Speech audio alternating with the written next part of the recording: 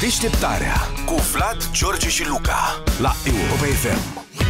citit recent că Tudor Giurgiu, regizorul Tudor Giurgiu, face un film despre meciul epocal între FC Scornicești și Electrodul Slatina. Da, mă, ce mișto, electrodul Slatina, frate. În 78 era, când Scorniceștiu, Scorniceștiu era echipa lui Ceaușescu, considerată echipa lui Ceaușescu. Era Ceaușescu, statul natal, nu da, Scornicești. Ceaușescu era născut în Scornicești și atunci Bruce Scorniceștiu performa într-o, la o grămadă de capitole.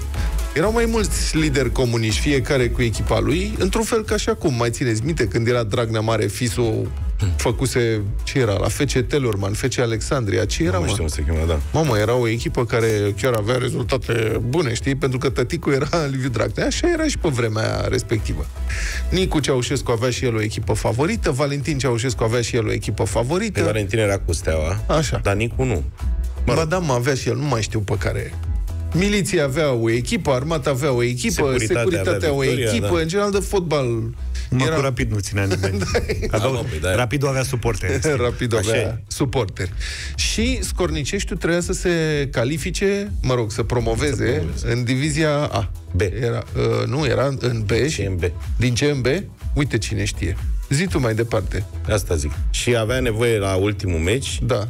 Era la Egalitate de puncte egalitate cu de Moreniu. puncte cu Moreni, cu flacăra Moreni. Cu flacăra Moren, da. Și Dacă trebuia Moreno să a fost și bată- prin divizia A la un moment dat, dacă nu mă înșel. Da. Da. Trebuia să bată la golaveraj mare, să dea goluri. Erau mai Mai, buni la... mai multe decât mm-hmm. Da. Moreniu. Moreni. Și atunci s-a organizat, aici intervine Mitică Dragomir. Și Mitică Dragomir, el a organizat o acțiune ca să rezolve cu Scorniceștiu să treacă, să promoveze în divizia următoare. Mm-hmm. Și blatul ăsta istoric, el a pus mașini de miliție din 30 în 30 de kilometri până la Moreni, între Scornicești și Moreni ca să dea ăia prin stație, că atâta bătea stația, Da, 30 da, de da. kilometri, să dea cât e scorul în timp real, permanent. Ce băi, Astfel încât băi, ce minți aveau. ăștia la Scornice să dea mai multe goluri. Acum ce se întâmplă? Scorniceștiu trebuia să joace cu o echipă Electrodul Slatina asta, uh-huh. care înțeleg că se desfințase de fapt. Da. Și atunci automat pierdea toate meciurile cu 3-0. 3-0, da. Și ticălosul ăsta de Dragomir, ce a inventat el ca să rezolve problema cu limitarea de 3-0, că ei aveau nevoie să dea multe goluri. Uh-huh. Le-au luat carnetele de jucători lor, care erau de la o echipă care practic le-au nu dat mai la niște exista. cetățeni. Da, și le-au dat la niște cetățeni de prin Scornicești.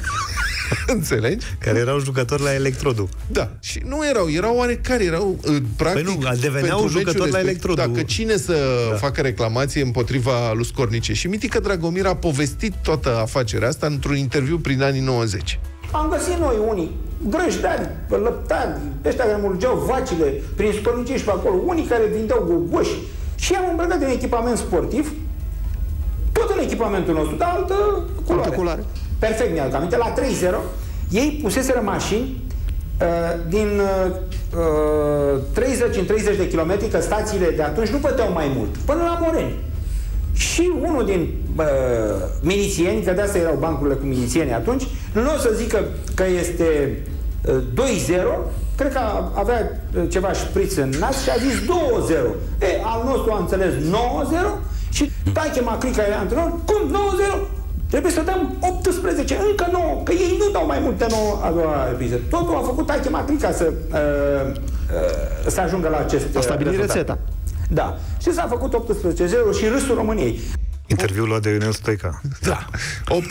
18-0, tată. 18 zero. Dar îmi Cu o place echipă că care Mitică nu Dra- exista. Mitică Dragomir vorbește de milițieni, el fiind șeful la milițieni. Da, mă, frate, înțelegi? Așa. El nu a fost și E, mă rog. A fost uh, mai sus de miliție. A ajuns și la pușcărie, mă rog. Și uite, așa s-a mai făcut un mare blat în fotbalul românesc, pe lângă cele faimoase cu cămătarul gheata de aur, de aruncau șoșoni și tenis din tribună, să întorcea partid, portarul cu spatele. Deci în sfârșit face cineva un film despre Dar un blat. face Tudor Giugiu, înțeleg, un film, de-abia aștept să mă duc să-l văd. Da, da, da, ar- sună interesant, adică are potențial. Altfel să știți că am fost lămuriți și cu situația lui Nicu Ceaușescu. Vezi că ascultătorii noștri cum prindă veste că nu știm ceva, vin să Nicu vă ce avea, regleze. Sibiu? Ei zic că Sibiu ar fi Era prim secretar la Sibiu, da. și că echipa lui Dragnea Junior se chema Turist Turnu Măgurele. Așa, Da, mă. mă, a fost în divizia, în sub... nu știu cum îi zicea atunci. Turist au- Turnu Măgurele, da, Nu, a fost în Liga, divizia în națională, divizia. Da. Nu, în an a fost. Nu, nu, nu, nu, nu, era, a na? fost în ligile inferioare, Da. cred că a jucat și rapidul Cu în cât perioada uh, cât urca, urca. v-au bătut? Nu cred că. nu N-a cred că n-au apucat, trebuia bătut. să prindă- Uite, o să și caut să văd. Trebuia să prindă mandat mai lung domnul Dragnea ca să apuce să vină în act. Deșteptarea cu Vlad, George și Luca la Europa FM.